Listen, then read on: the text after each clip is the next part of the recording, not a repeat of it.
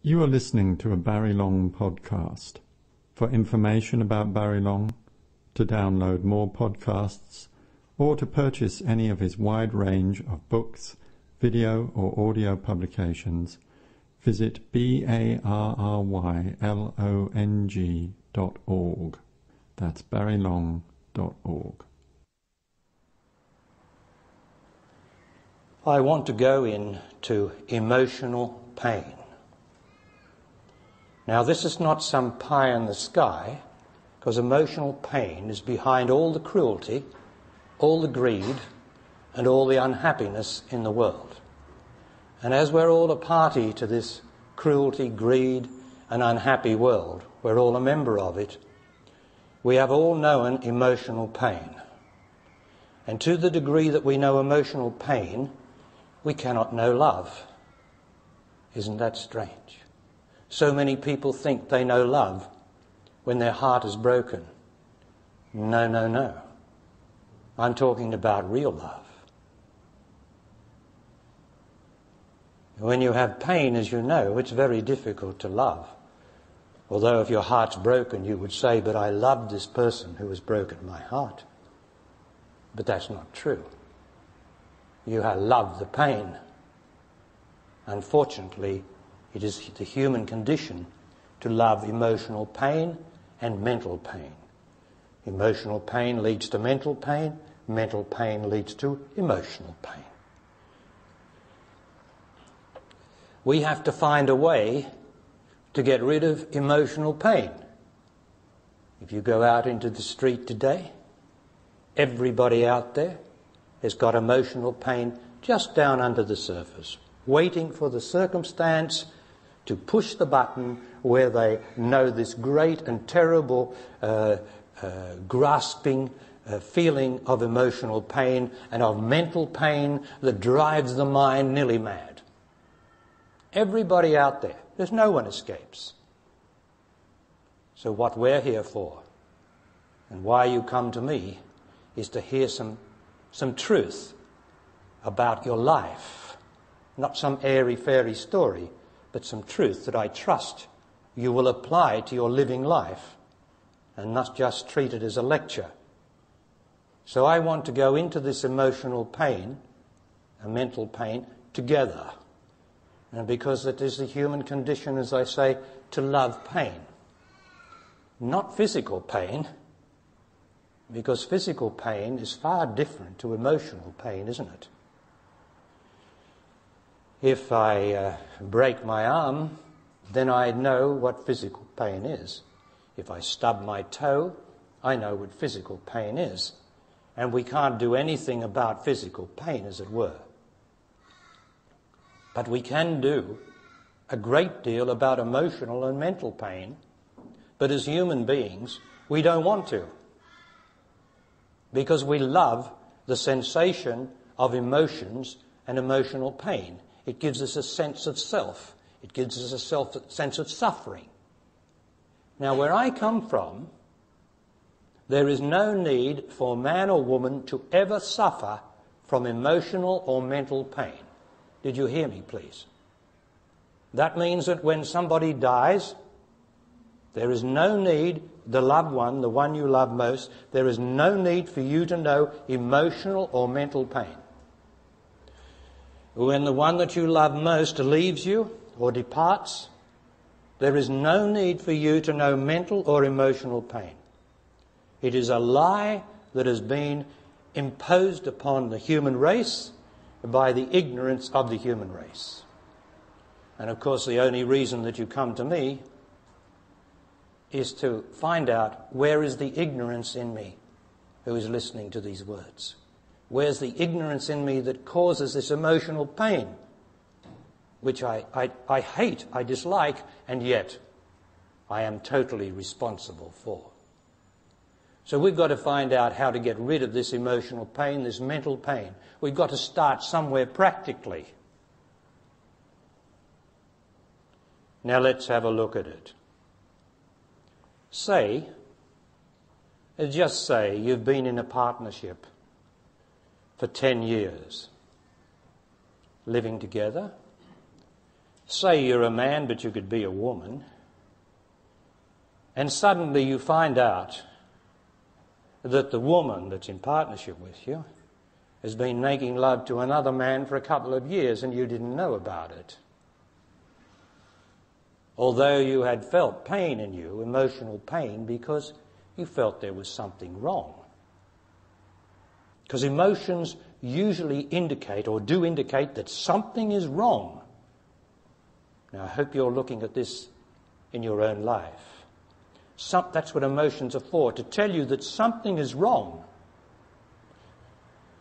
So, if I felt that in a relationship something is wrong by the emotion that it created in me, then I have to look at the situation and see is it in the situation that's affecting me because it is dishonest or something is wrong, and I am taking everything for granted that everything's all right, and it's never all right. It doesn't matter what partnership you're in, it's never ever all right because you've got to be vigilant. You've got to be honest to truth and God. Everyone gets honest to their ignorance. And so they put up with it instead of getting to the bottom of it. Because if I'm emotional in a situation, it means that I have ignorance in me which I'm not facing, or there's something dishonest in the situation. And that's why I have to be able to speak to my partner. And she or he has to be able to speak to me with utter honesty. It doesn't matter that she's making love to somebody else. That's not the point. The point is, why is she making love to somebody else? Why?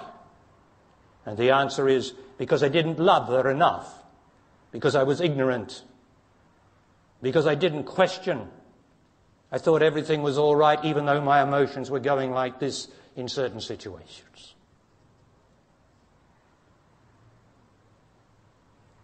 So you know what I say that in a situation, you either surrender or you quit.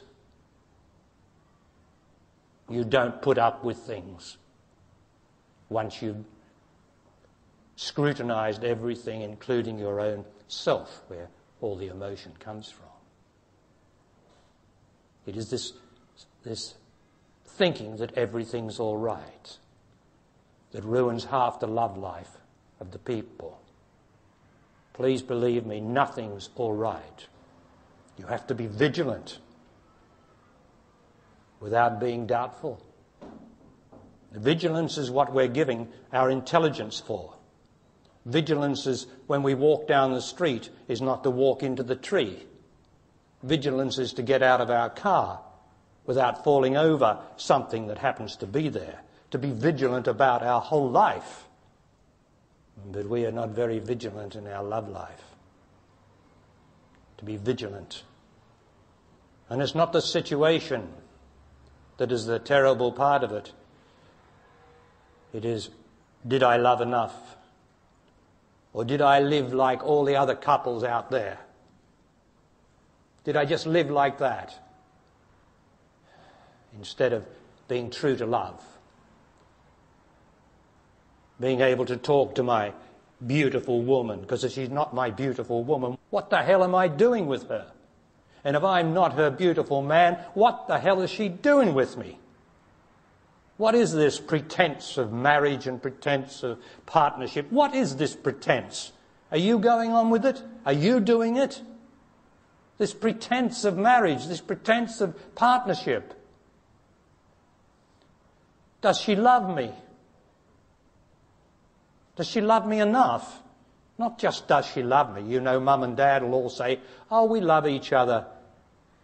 And I say, but do you love each other enough? And the answer usually is no. So if she doesn't love me enough, then I have to find out what I am doing to her. Not to blame her, but where am I going wrong? My love, where is it going wrong? Where am I not loving? What am I doing that upsets her that she doesn't speak about? What am I not doing that she would like me to do that upsets her? Why can't I be honest like that with my love? For love means communication. You know, if I say I love a woman, then my God, I'm in utter and complete communication with her. And she with me. For she must love me means she must be able to communicate with me. And love is communication.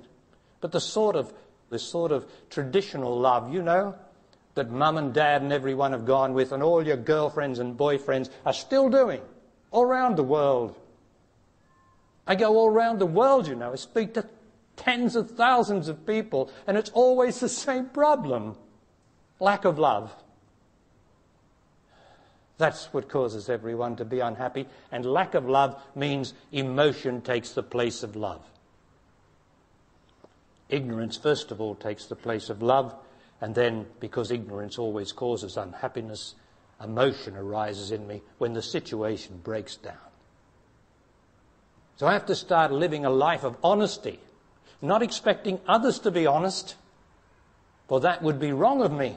I would have expectation of you to be honest to me. The thing is, I've got to live a life of honesty. Now, where does the life of honesty begin? It begins in here. That I must be honest to love. Does that mean anything? Honest to love? Honest to truth? Honest to God? Honest to life? Now, mostly that sounds like pie in the sky, but is it? For if I say I love you, then I must be able to speak to you. And you must reveal your deepest emotional secrets to me, meaning what makes you emotional. And if you can't do that, then either I don't love you enough or you don't love me enough. For the whole purpose of love is to get rid of our emotional hiding.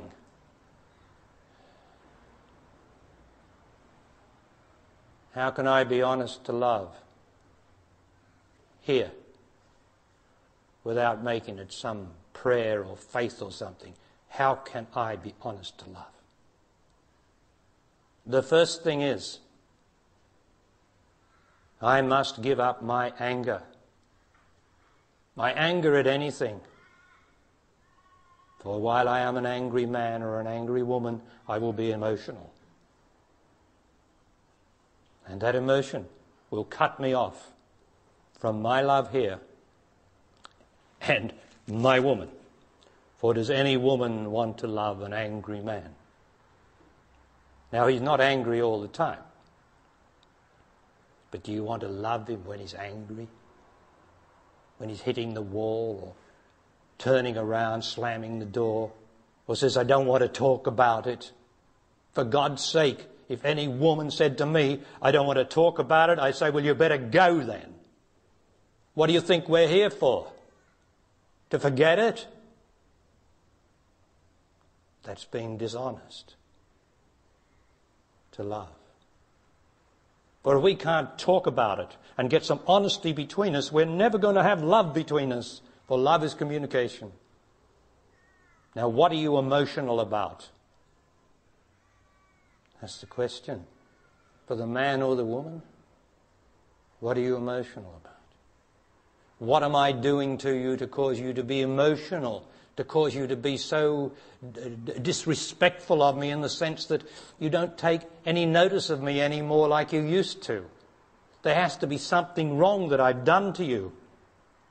There has to be something wrong that you've done or I've done, one of us has done wrong, that you don't love me like you did when we first hopped into bed together. You know, when you first hopped into bed together, how beautiful it was. Now, I'm talking to all of you. Let's not bullshit. Let's just get it right for a change. When you first hopped into bed together, remember how beautiful it was? And how you loved it, and he loved it, or she loved it? Well, I want to know what went wrong. What went wrong with it? And you've got to have the intelligence to be able to know what's gone wrong when the moment it goes wrong. You've got to be there, not in some ignorant bliss that ignores the first, the first word of criticism, the first word of pulling woman down, the first word of doubt, the first word of fear, when that first word comes out, your love is starting to go because behind that first word is emotion. And soon he or she will be emotional, and as soon as he or she is emotional, you will be emotional. And so the disease of emotion goes backwards and forwards between us and spreads like an epidemic through the family, anywhere that's around us. And everybody will get upset and emotional, and it's got nothing to do with anyone else. It's got to do with me. But why am I making you emotional? Why do you not love me like you did? And it's no good asking three years later. You've got to ask the very moment that it starts.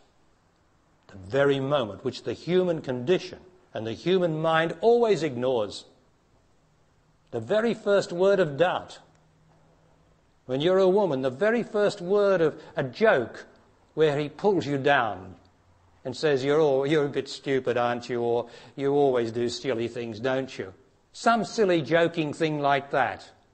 That is an insult to woman and it makes woman emotional because it's not true Man is always trying to pull woman down to his own stinking level.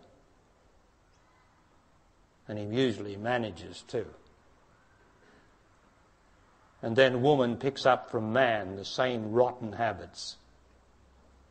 And she goes and does things that man does and thinks is his right to do in being dishonest. And she goes and be dishonest. What chance have you got? This society stinks. And if you took the lid off every family and every house, you would find ignorance, unhappiness, and emotion in every one of them. The pretenses of love are all pretenses. For to love is to love now. To have nothing arising. You know what the Buddha said, the great discovery of the Buddha? when he went into the great depths that founded a great organization of billions and billions of followers, the main important point of what he found was I have nothing arising. Now, when anything's arising in you, it is emotion. Are you hearing me? So the Buddha discovered underneath all his emotions that he'd gathered he was able to penetrate down beneath them and say, No more do I have any emotion arising in me. For the only thing that arises in me is emotion. For you can say you've got joy in you, you can feel it arising in you. Bullshit. Joy is a sensation which is there indeed, but it doesn't rise. It's there either in intensity or or in a, in a, in a subdued way, like the joy of being alive now, which I have and which you have, of course. So subtle. And if I start to emotionalize that joy, which most people do, like, isn't it a beautiful little baby? Oh, I can hardly contain myself. Come here. Oh, lovely, lovely baby. That's emotionalizing the love of the baby, which is a beautiful thing. And you will suffer and the baby will suffer because that, that emotion's going to go into that little baby. You don't think it does. But this is a psychic world, not just a physical world. The physical is as thin as a cigarette paper. It is a psychic world. And if I have emotion in me, and fears and doubts, which are all emotions, then that transfers to my children. And they, of course, follow me, and will, I will clone them, clone myself in them in, emotionally. And they will behave like I do. And they will treat their women the same way as I do. And they will treat their men the same way as I, whoever the other party is. Always avoiding love instead of being honest to love. Now, I will not have a woman who does not love me utterly. And I do not expect a woman to be with me if I do not love her utterly, that she knows that I truly love her. So what's the problem? What have you been doing? What have you been doing to get your heart broken? If he didn't love you enough, then it must have been evident at some time in your love life after you first went to bed together and enjoyed everything so much. It must have been evident when the tide had started to turn. And that's where you've got to be honest and say, what is going on here? But before you even do that, when you first meet, you have to have an understanding of honesty between you. The very first time you meet and there seems to be some sort of attraction happening, and if it's going anywhere, the first thing you've got to get straight is, I want, I must be able to be honest with you. And you must be able to be honest with me. If you don't start your relationship like that, you're doomed. You're absolutely doomed. There's no chance. But if you start off like that, where I can ask you, why are you angry? And you can, or you can ask me, why am you angry?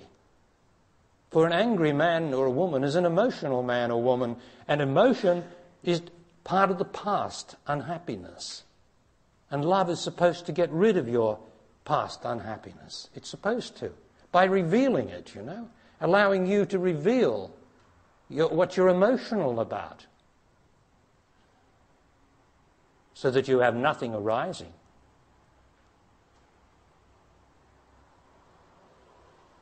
So we've covered a fair bit of ground there overall. Now, would someone like to ask me a question in your own experience about emotion? Yes, this lady. What is your name? Yvonne. Yvonne, yes, Yvonne. Uh, when you talk, you are talking with all your, your insights. I am talking with all my inside, yes. Can I, how do I call it? Passion or emotion? The way I'm speaking, the lady says, do I call it passion or do I call it emotion? Now, why don't you give up calling it anything? Why don't you give up interpreting? Because that's your problem. You interpret everything. You interpret how you feel about your lover. You interpret about this and you interpret about that. And that is an error to interpret. Because the human mind and emotions interpret. There's no need for interpretation. What you should be doing is listening. Am I speaking the truth? Am I? Am I? In your experience, have I spoken the truth so far? That's all that matters. Not your interpretation of it. I am what I am. And I want you to give up interpreting and to see, do I speak the truth? That brings about the fundamental change in you. Now, there is nothing worse on this earth than interpretation. Are you listening to me? The mind and the emotions interpret everything. And in love, there is no interpretation. There is just the truth, and there is love. And I do not behave like Jesus is supposed to behave either, or the Buddha and all these soft spoken, gentle people, because I talk to people who are in pain. I talk to the human condition, and the human condition is so ignorant that it can sit there and listen to a nice little story, a nice little man looking so beautiful with long blonde hair and blue eyes and being so soft voiced and everything, and do nothing. The point is for you to waken to the truth. So you don't have to interpret it, listen to the truth. Your next question? Um, do you recognize that you can um, feel emotion without um, able to be tell the other what is making you emotion? Do you recognize that you are able to feel emotion without being able to tell the other what the emotion is? That's a fair enough question, isn't it? Because often we can't put our finger on the emotion, can we? It's just there. Such as if I was a woman and found a man being restless, I'd have to say to him, Why are you restless? You're being emotional because you're restless. You don't want to be here, and you don't have the guts to tell me that you don't want to be here because you're restless. Why don't you have the guts to tell me that you want to go somewhere else instead of vibrating your restlessness to me who loves you. Too straight, huh?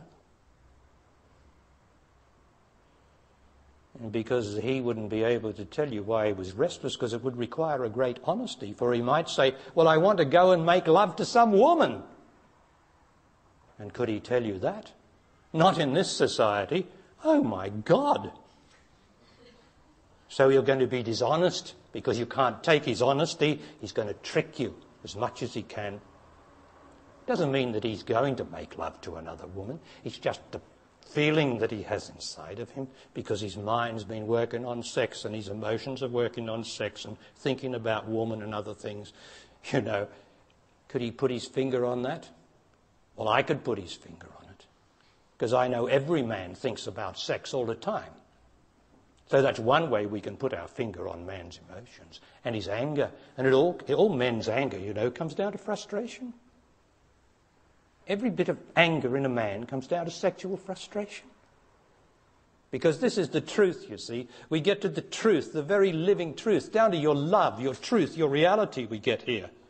And you start to see things with a bit of sense instead of with feelings. For feelings are interpretations. Are you listening to me? If I feel something, then I've interpreted something. Say someone next to me dies, someone I love. I get a feeling of pain, of, of loneliness or, or sorrow.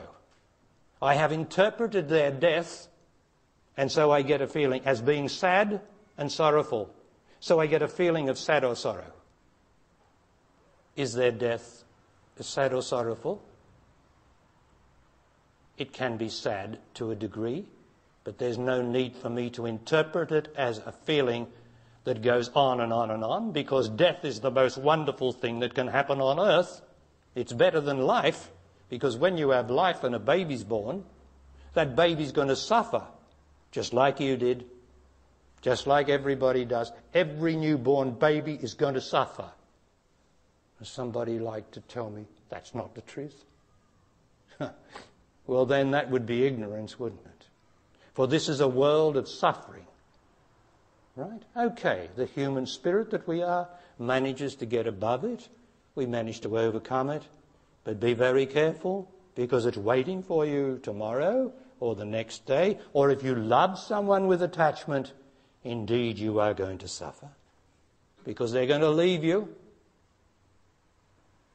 either by death or departure and you will suffer. Is that true?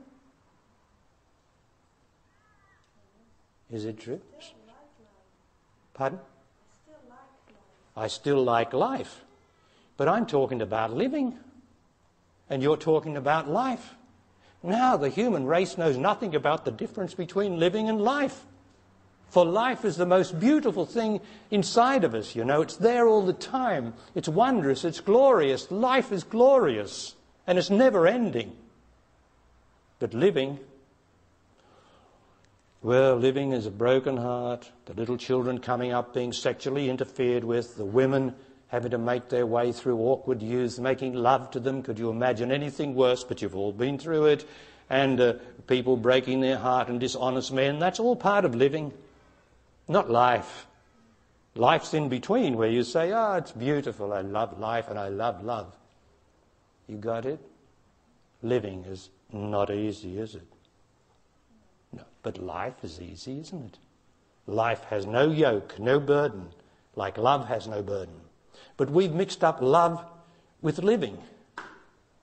And living is dishonest because we've all got to cover up for our insecurities and our fears and our sexual frustration. Whereas when I become life, for I have realized life, you see, I've realized it, made it real in my body. I have, therefore, I've realized love. For life is love, and truth, and God, and even death. So I've realized death, for I know there is no death. Now that's why you're here with me. What would be the good of coming to someone who hadn't realized life or God or truth or death? Be no point.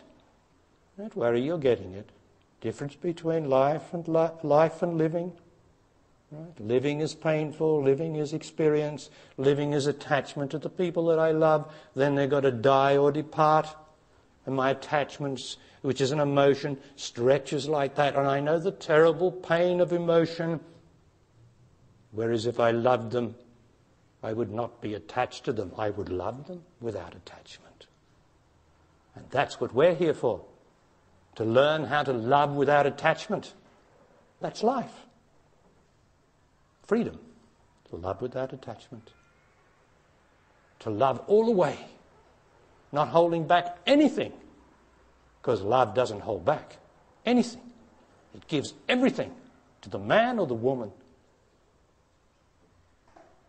And that's freedom. To be able to give all your love. Imagine to this lady who asked the question, to be able to give all your love. Wouldn't that be beautiful?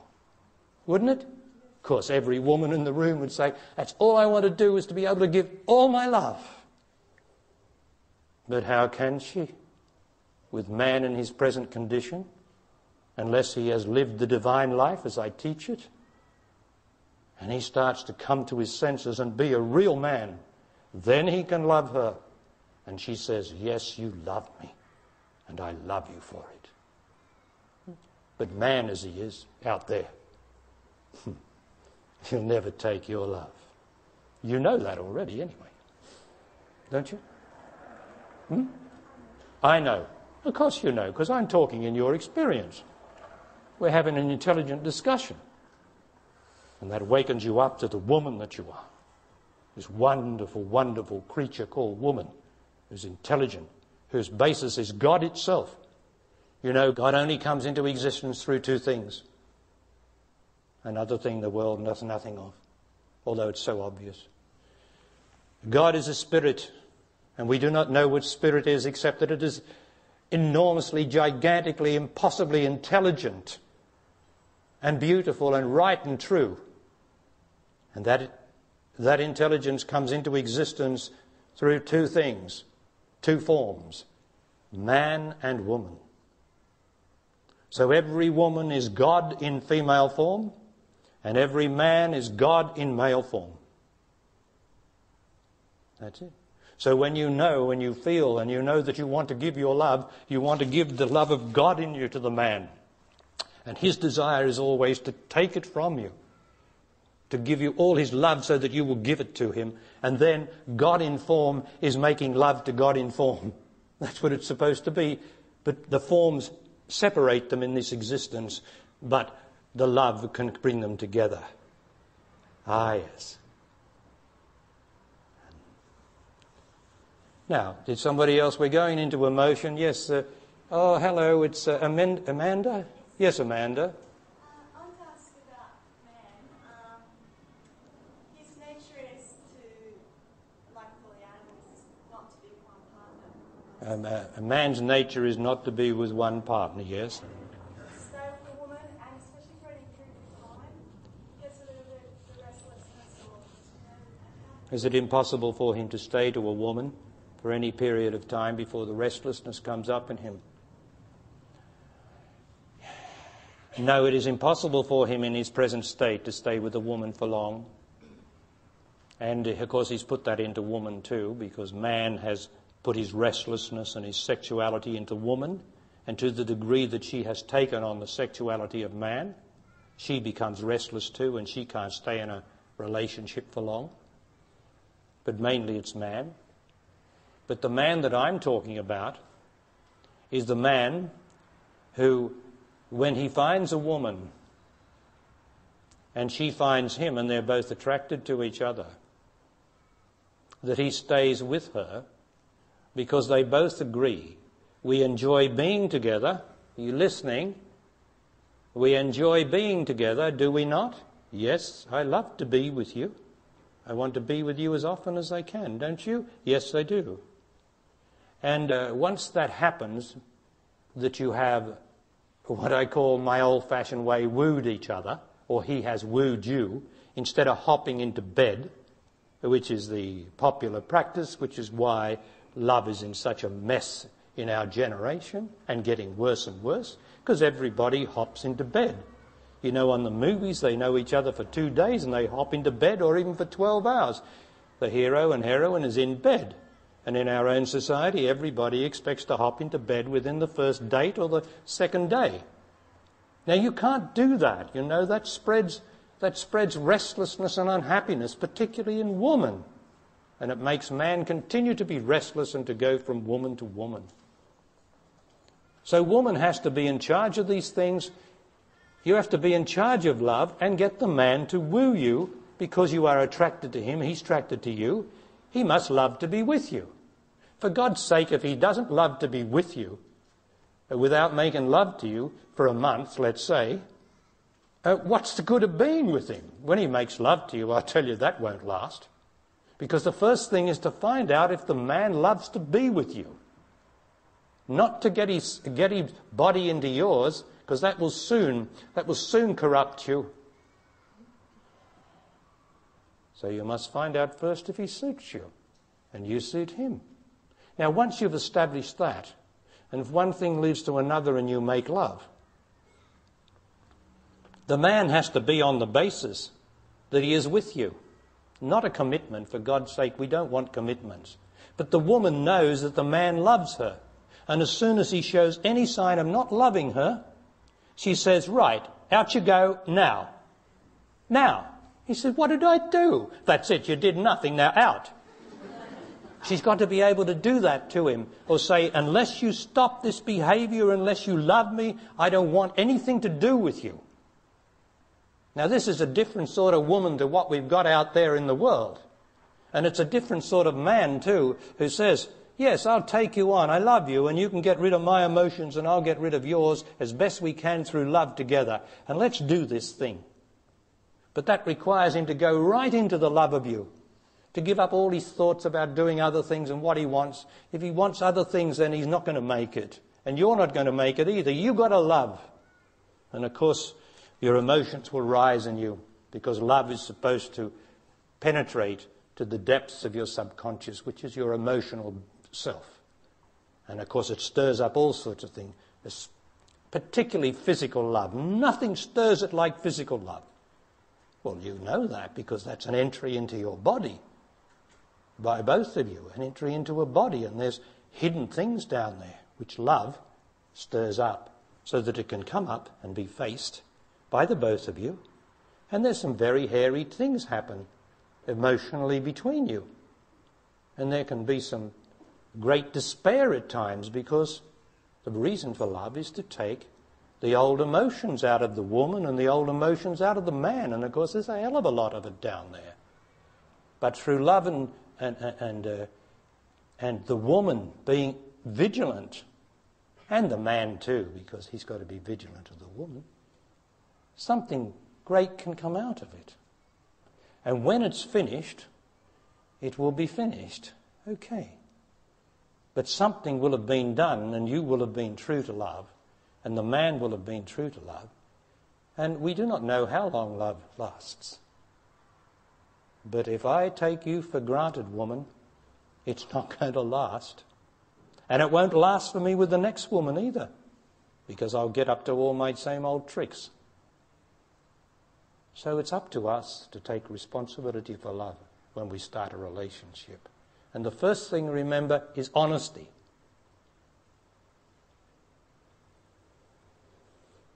I must be able to tell you if you do something that irritates me, that it's something that, that hurts me inside, I must be able to tell you immediately when you're doing it, not three months later, because that doesn't work. That's how the human race works. No, we've got to do it as beings. I must be able to tell you. And you must be able to take it without justifying or, or uh, justifying yourself or your actions. You mustn't speak back. You must just listen to me because if I have an irritation in me by something that you do, and I am open and honest about it, then you will immediately endeavor to get rid of that if I love you and if I, you hear that I am being right. And the same with you to me. Then we don't have emotions that gradually build up bit by bit. And over here we start wondering, well, what's come between us? What's this that's come between us? We love one another, and what's come between us? Well, all the little irritations that have disturbed emotions, all the, all the joking, uh, uh, pulling down of woman, all the, uh, the harshness of words, all those have created a shadow that comes between us. And our human mind, which is ignorant of love, knows nothing whatever about love, says, What has come between us? When it is our own dishonesty has come between us. So we're continuing our investigation in our own experience into emotion which destroys love proportionate to emotion's intensity. And I trust that we've been discovering something about what love is between man and woman. And you'll never love each other unless you're honest. You'll never really love each other. You'll get attached. But if you're honest, there's a greater chance of you're not being attached because you're being true to something else. You're not being true to the woman. You see, I don't want my woman to be true to me. I want my woman to be true to love and true to truth. That means that you must always put the love of truth and the love of love first before the man or the woman. Now you're hearing me. We're talking about the purpose of love, you know, between two people. If you love the man or woman first, then it is not going to last. You must love the truth first. Now, what is the truth? Because I've got to keep repeating this because it slips off the mind, you know, it just slips off. If I am true to love and I love you, I love this woman in front of me, say, and she loves me. If I am true to love, then I must not be true to her because if she's emotional, she'll be saying, Why don't you love me? Because emotion is, un- uh, emotion is insecurity, you see. And emotion always wants to be loved and it demands love and reaches out for love. Now, if I loved the woman, I'd probably give in to that, you know, because her emotional demand was so great I couldn't stand against it and I go and make love with her. Now, that's being putting the woman first. Because uh, if I put God first or truth first, I'd say, not on your life. You don't demand love from me ever, as I will not demand it from you. So don't you dare demand love from me. Then what am I being true to? The woman or am I being true to truth? Because it's not going to do the woman any good for her to get away with her emotion and demand love which comes from an insecurity in her, an uncertainty in her, a lack of love in her. So it's not going to do her any good. So the thing is to be true to love and say, stop, now cut it out. I love you, but I do not love your emotions. I do not love yourself, but I will help you all I can. And she might say this to me, you see. That way I'm but putting the woman first. I'm putting truth or love or God first.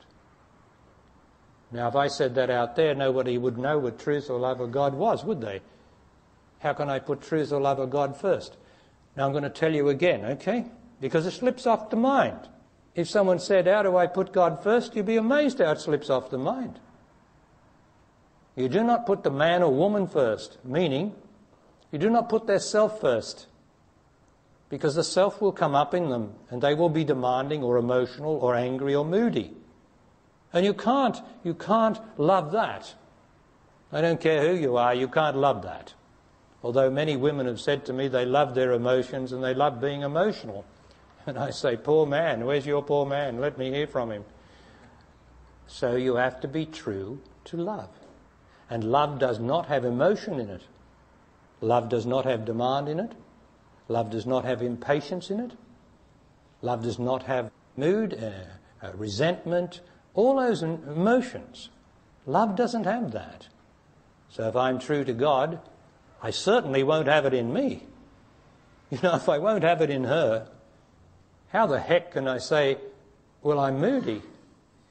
You know, or I'm angry or I'm resentful? What a, what a terrible thing that would be to not have it in her and yet to have it in me. And that's what we do, isn't it? We let ourselves off the hook and accuse others. When it comes back to taking responsibility, this is being true to God. This is being true to love. This is being true to truth. You're listening to me. I must not allow myself to take over my system. This is God's system, you know. I am God in male form, and you are God in male or female form. And I must not allow this stinking self to come up and usurp, usurp my body and my system. That's obviously wrong.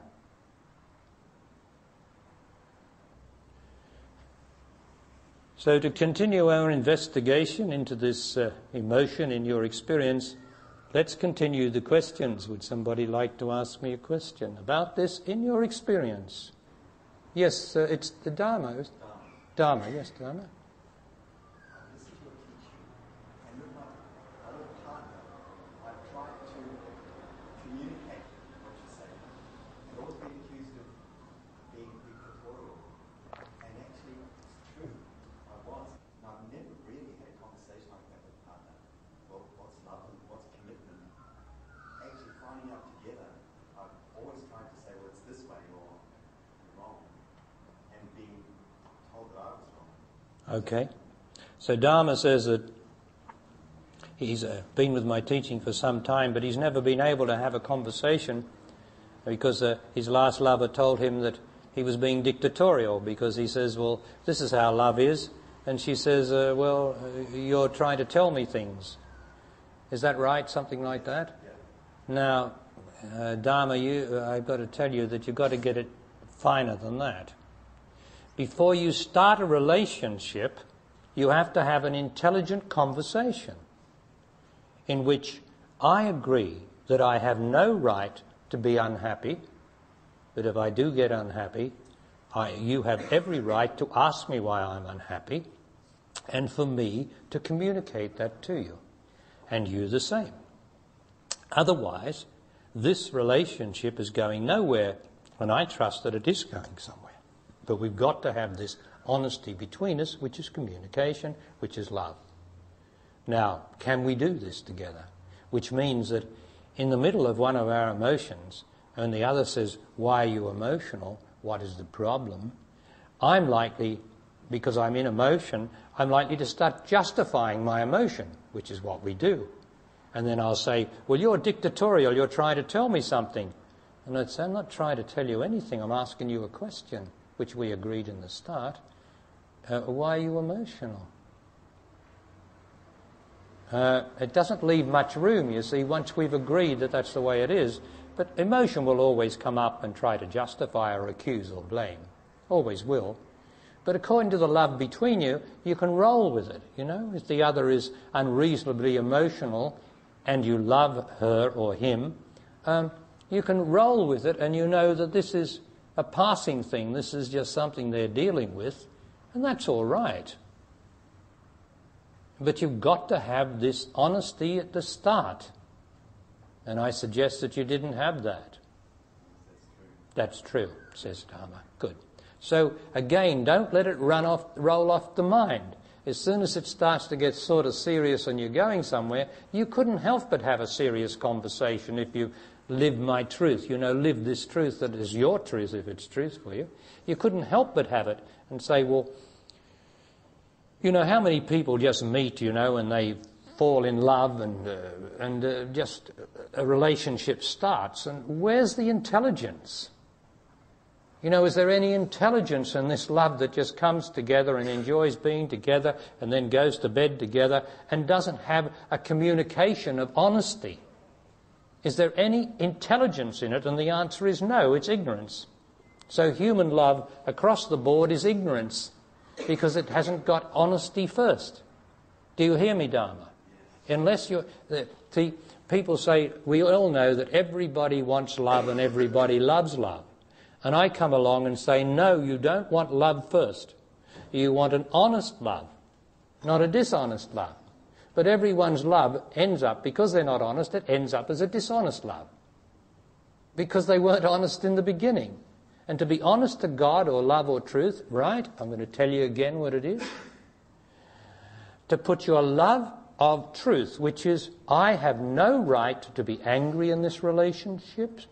I have no right to be resentful of other people. I have no right uh, to be negative in this, any of these matters. I have no right, but I might get that way because I'm not perfect. But if I do, would you please ask me why I am this? And I will endeavour to answer as honestly as I can what the problem is in me. And if I can't see it, I will tell you I can't see it. Perhaps you can tell me what my problem is, because often the other one does see it. And if they're not accusing or blaming, often they can tell you the truth. Yes, you're uh, concerned about this or that, or your second last lover. That's what your problem is. I know that, says one of them. Well, I don't know that I am. You know, and that can, as long as there's no emotion or accusation in it, then you can get it straight and you'll help each other to get these emotions out. But as soon as you accuse or blame the other or justify your own reactions, eh, the honesty goes. So, anybody else like to ask me a question, please? Yes, sir. I can see the insecurity. Have you got the emotion in your body of insecurity? Yes. Where is it? rollers around the solar plexus, which is around the stomach area, the solar plexus, the chest. Right. So that's where she's got her insecurity feeling in the ex- existential body. Yes. And I feel like a lack of stillness sufficient to really hold it from expressing itself. I feel a lack of stillness, which stops me from I don't feel as though I have enough stillness to stop the insecurity. expressing itself. I don't feel I have enough stillness to stop the insecurity expressing itself. Well, you know, all insecurity and everything comes from lack of love or not being loved. That's where it comes from, finally. The fear of love, the, the not being loved. Uh, I feel it comes from a lack of love in myself. also. Well, you can't have a lack of love in yourself, really. You, uh, uh, you are love, and what's been imposed on that love is uh, uh, a lack of love or a fear of love or uh, a wrong partner. Why don't you go and get a brand new partner? Next time you're moved, a brand new one. You know, it doesn't matter if he doesn't know anything about the spirit, as long as you start off, as soon as there's any form of attraction, you start off by saying, Now, honestly, this is how I, the only way I can love. And uh, why don't you do that? Why don't you try a different lover? You know, all lovers are not the same. We go on often for year after year and we think it's our fault or something, and the thing is that you don't fit each other or you don't suit each other. Well, why don't you try that sort of solution as long as you're moved in love, but then your fear will turn, you'll look, be looking over, there could be a, a, a field of Adonises in front of you. but your fear would look straight over and say, I can't see any man around. So the next time you're moved, you know, towards someone or something, or something happens, you just remember what I said. Just keep that inside of you, because not all lovers suit each other, you know. We got into this habit of lovers suiting us, and uh, unless we're going forward, and by going forward I mean that we're going deeper into love, and I'm getting rid of my insecurities, and and I'm loving her or him more, and he's loving her or him more, and, and we're both going together and we have a greater sense of reality and life. Unless we're going forward like that, it's possible we got the wrong partner, even though we love him or her. But are we reaching each other? Is it working? You know, we've got to look at these things, haven't we? Because there's nothing like the intimacy of two bodies, and they, they can fit, but perhaps they don't fit forever. Perhaps we think they, when they fit, they fit for now, but they don't fit forever. But I would say that if you're fit at the beginning in making love, if your body's fit then, and you continue to live the divine life, I see no reason why you shouldn't fit all the time. It is the emotions that come up between us, which we bury when we first meet each other and we're on our best behavior. They eventually will come up, our resentments and our, our fears and everything. And they usually separate us. But it's not always that two people actually fit. You would know that. You've all made love where it was just, you know, it was just ordinary. You've all done that. Well, you didn't fit, did you? Nothing wrong with that, but the fact is you didn't, didn't really fit so that you resonated in each other. And you just resonated in the bodies where you didn't exist and there was no emotion and no thought, and you just sort of became one in that, in that action of physical lovemaking. Now, I'm not saying to say it's always going to be like that or it's always like that in the beginning, but it's got to be a getting better situation all the time. Otherwise, it's a, it's a retarding situation getting worse. And then we get attached to each other, we get attached to our room together and our, our house together or something, we get attached to that, and it's too much trouble, to be honest, to love. When we don't really fit each other anymore, either due to our emotions or due to the fact that we've done all we can in each other's bodies. I mean, we've got to face the fact of things, haven't we? Eh? It's about time we did look at things. We're not saying do this or do that, but, but to look at things.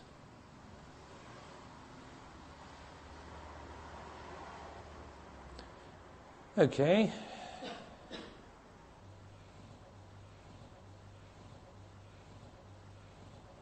Now, the fiendess is a word that I have used in my Making Love tapes, as those of you who have heard them would know.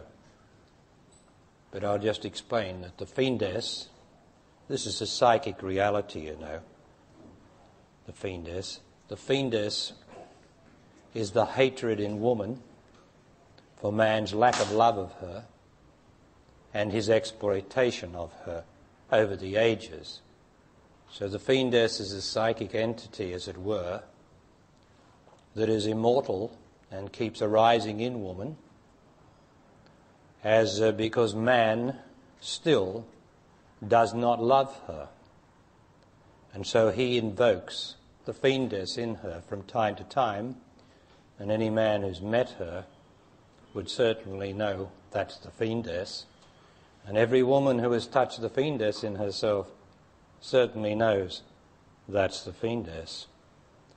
But the fiendess finally has to be overcome by the woman containing this hatred of man that is psychic and endemic in woman's psyche because of his terrible treatment of her down through the ages, through using her.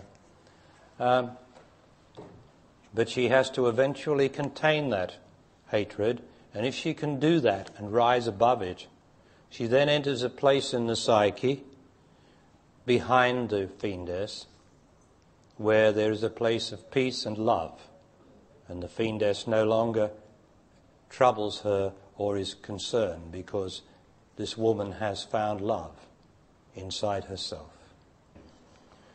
So the fiendess is a demon, but a fiend is something that comes out of hell.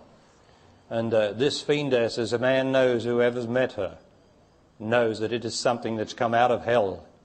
And hell, of course, is nothing more than hatred, uh, a reaction to not being loved. It's an emotional reaction. It's a piece of love that is broken off by the sheer indignation of not being loved, and the motion, the love breaks off and turns into emotion and, and violence and, and sheer hatred. And then that, that piece of love that's turned to hatred of man has to be then loved back to become part of the woman so that it's absorbed back into her as love. And now that's what love's about. That love's supposed to heal all the wounds and bring all those emotional contractions of love that have become emotion, that were love, uh, to release the tensions and violence in them and bring the woman back to being whole. And same with the man.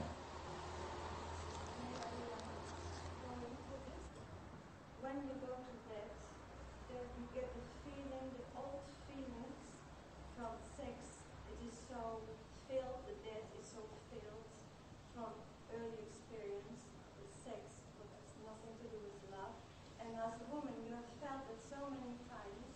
Right, if I could just tell the people that Yvonne is saying that uh, when you go to bed, uh, you're in the bed, and the bed is sort of filled with the feelings of sex because of your previous experience of sex in bed. Yes, that's what you're saying? Yes. Then I find a very difficult place to start off getting to your love.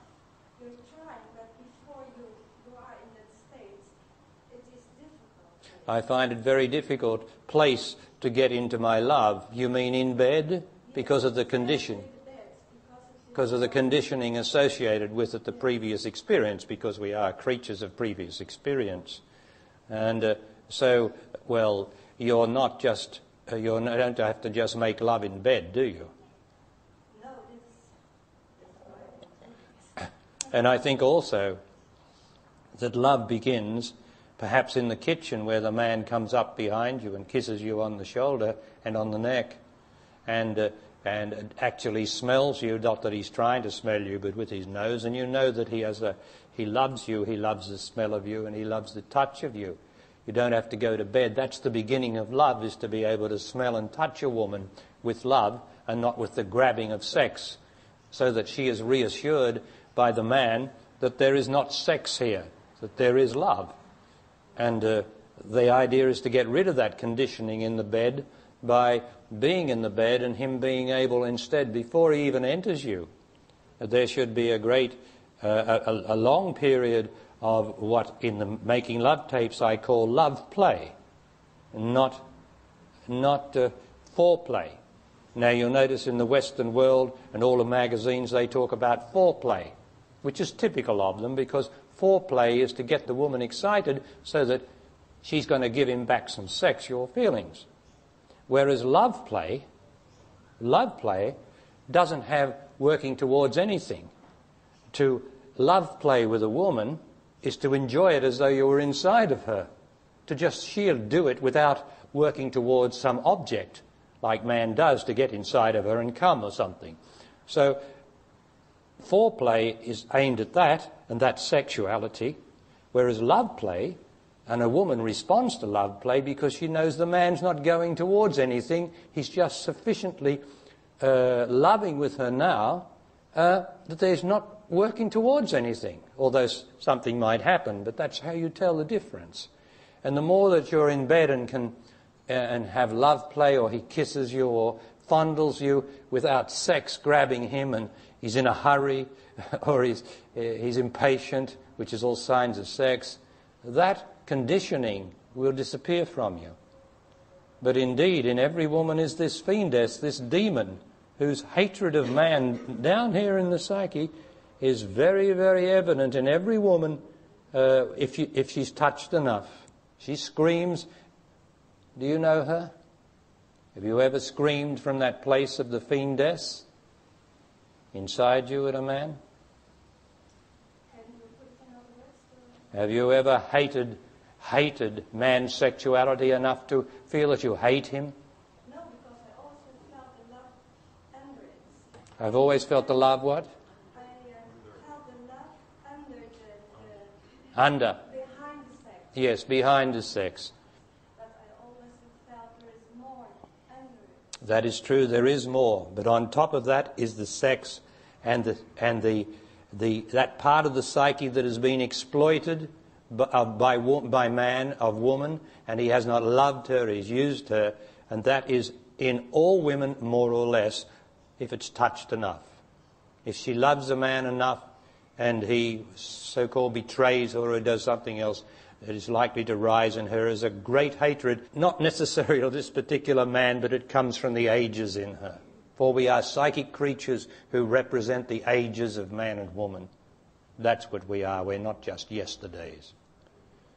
So, okay, so it is important for the man to love you, to get rid of your conditioning, your sexual experience. Only love will do it. And he has to love you rightly. So it does demand a great deal of the man to be able to give up his sexuality And the best way for him to do that is to truly love you. If he truly loves you, if he loves you and says, I just love you, I don't care about anything else, I just love you. When a man says that, then, then you're being loved and your conditioning will be dissolved gradually. I know, I, I know where you're coming from, but I still think it is, you ask very much from a, a man, I think that, that it is so hard to come to that point, and that is what you feel very often.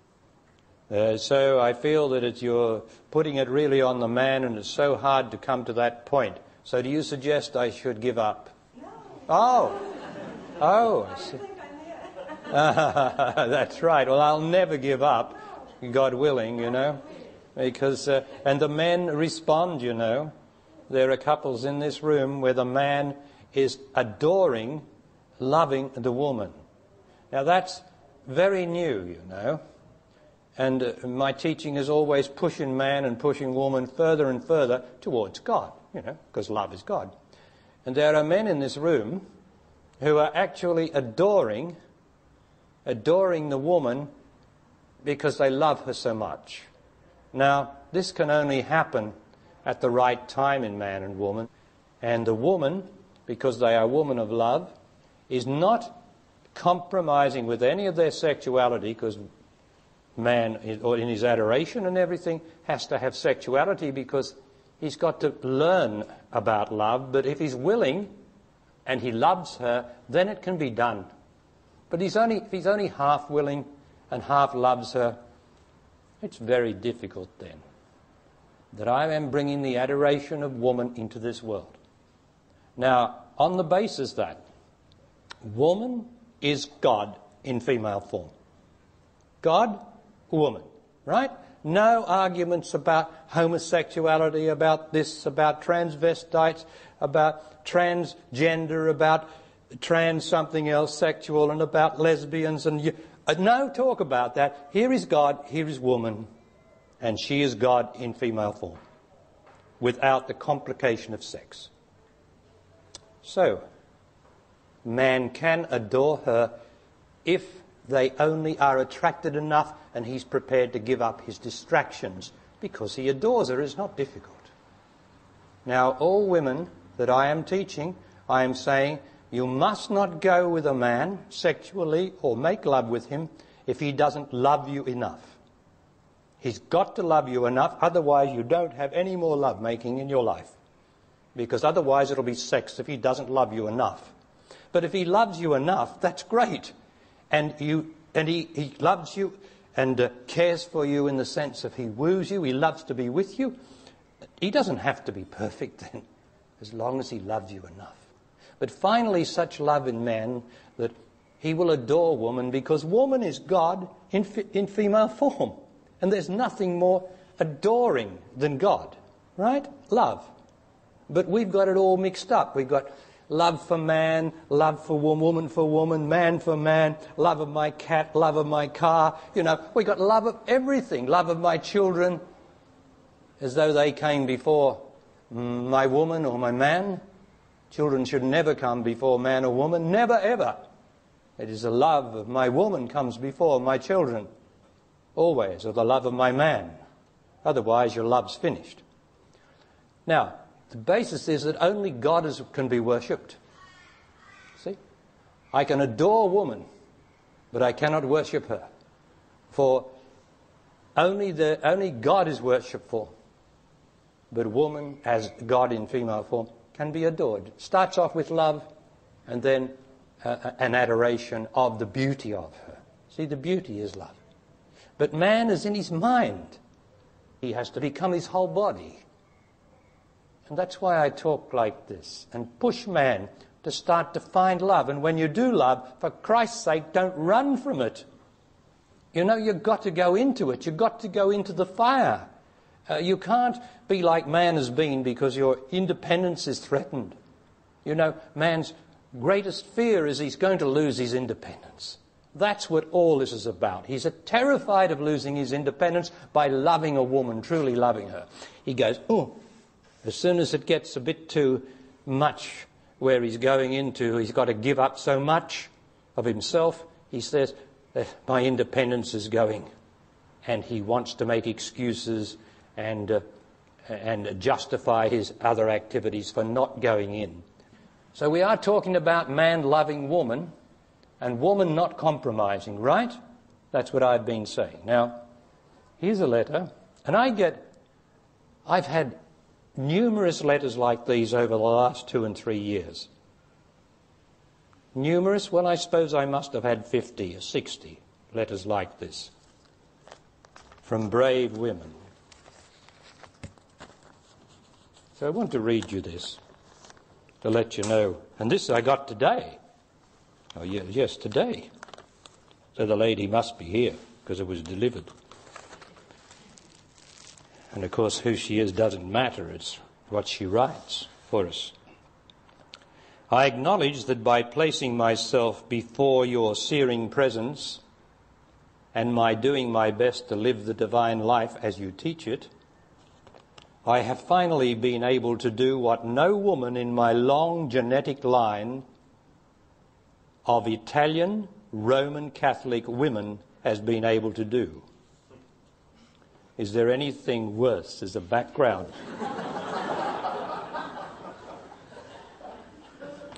By grace, I have had the clarity and courage to let go of my marriage and put honesty to love first.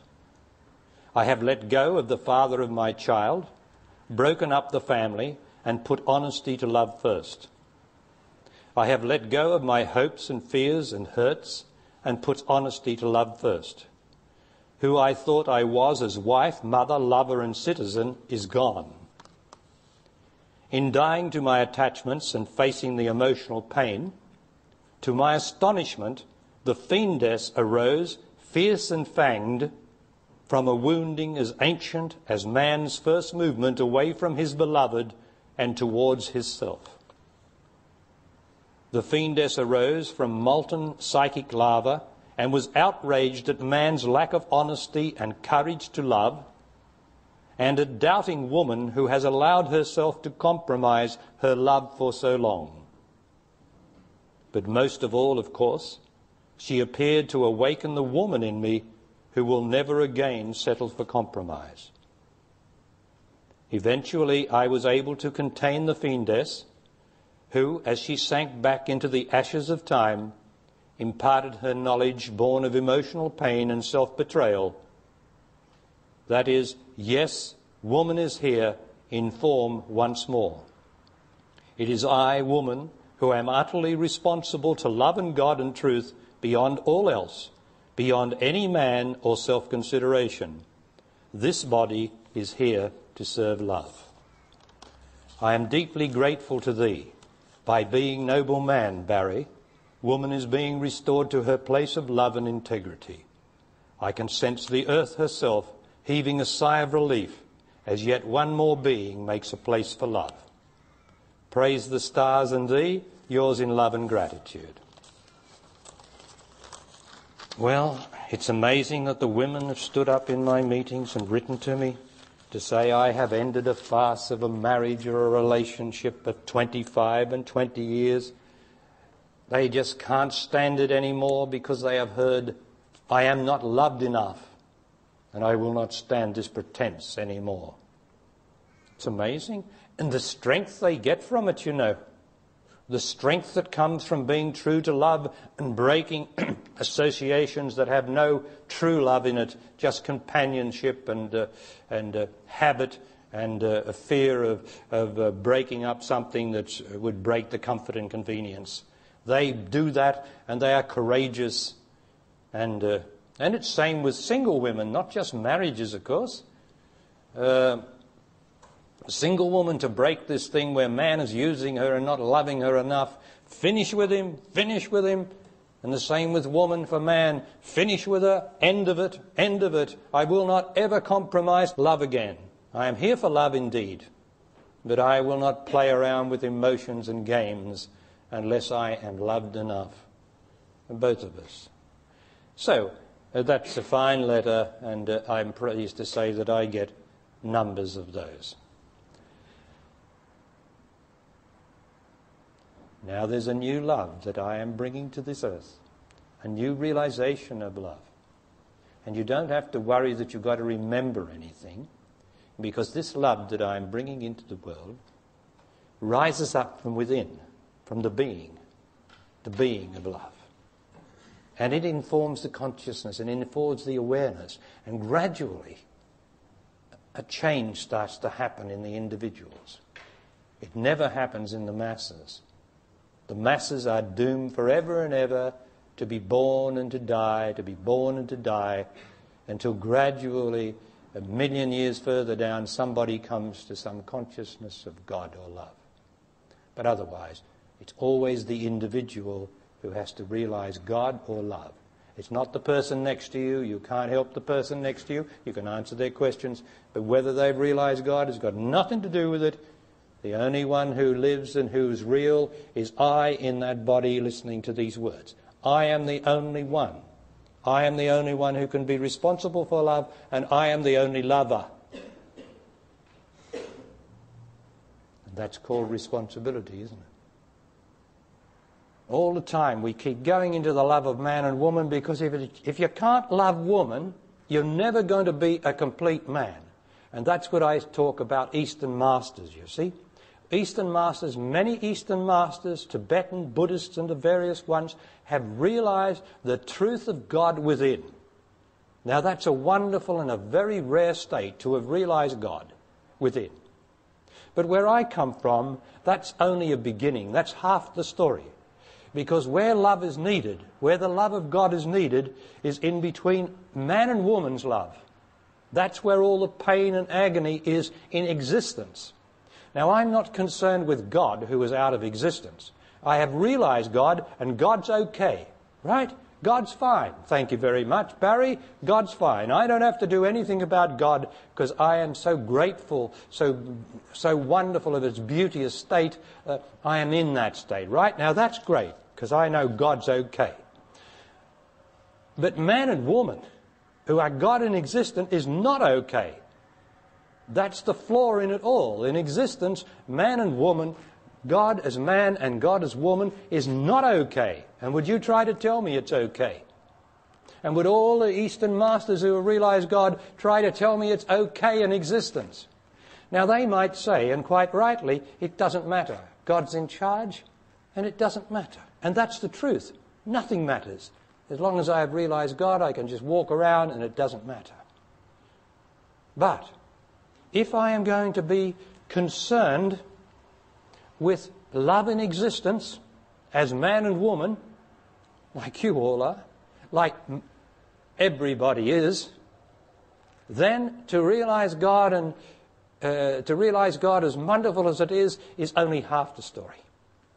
I have to then, where I come from, bring that love through this body into existence and uh, inform man and woman, and if I am a man, inform woman by my divine love that this is divine love, this is God, and I know that I have been loved by God in form.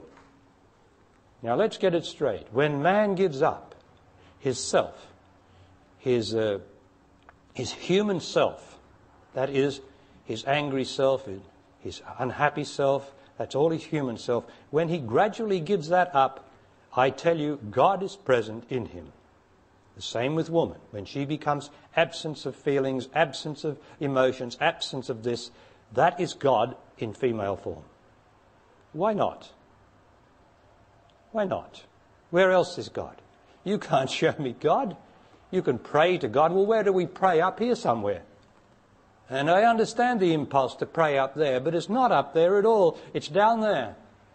And God is in me. And my job is to bring the God that I have realized the love that I've realized, all of you, into this existence where there is very little love. So we've been into all that area, haven't we? I've touched on everything that I possibly can in the time allotted to us about man and woman's love. And I have told you the ultimate truth is that every woman is God in female form and every man is God in male form. That's the ultimate truth. If you want to come down here, where all the complications start, You can come down the pyramid and you can argue, and you can argue about love of this and love of that, and you've got a whole pyramid of complication. But when you go up the pyramid, you come finally to man and woman as God, and then when they come in union, in the union of love, somehow or other, God is realized. The pleasure, the wondrous pleasure, the wonder of love is realized.